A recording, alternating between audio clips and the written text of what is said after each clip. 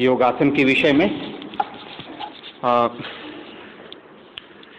जैसा कि हम लोगों ने पिछली कक्षा में योगासन के विषय में कुछ बातें की आज हम लोगों को उसको थोड़ा और विस्तार से समझना है। आ, एक जो बड़ी मुख्य बात है वह ये है कि यो, योगासन व्यायाम से अलग होते हैं। योगासन इस तरह की शारीरिक गतियाँ होती हैं या स्थिति स्थितियाँ होती हैं जिनके द्वारा जागरूकता, स्थिरता, एकाग्रता और सहजता का विकास होता है।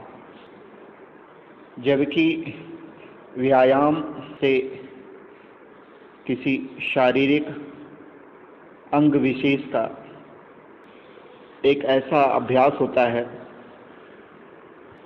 जिसमें कि ये तत्व प्रायः समाहित नहीं होते हैं।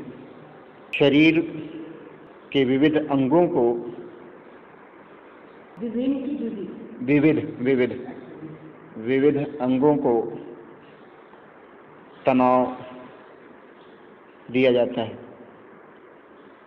बात और हम लोगों ने पढ़ पढ़ रखी है कि आसन करने से विशेषकर परानुकंपी स्नायु तंत्र सक्रिय हो जाता है, जबकि इसे सिंपैथेटिक नर्वस सिस्टम अनुकंपी स्नायु तंत्र सक्रिय होता है। जिसके कारण योगासन करने पर श्वास की गति घट जाती है। शरीर के तापमान में कमी आती है और शरीर के संपूर्ण तंत्र को आराम मिलता है। किंतु व्यायाम करने पर श्वास की गति, रक्त की गति बढ़ जाती है और व्यायाम करने के बाद में कई बार थकावट की अनुभूति होती है। इसी कारण आसनों का प्रभाव आंतरिक अंगों को पुष्टि देने वाला और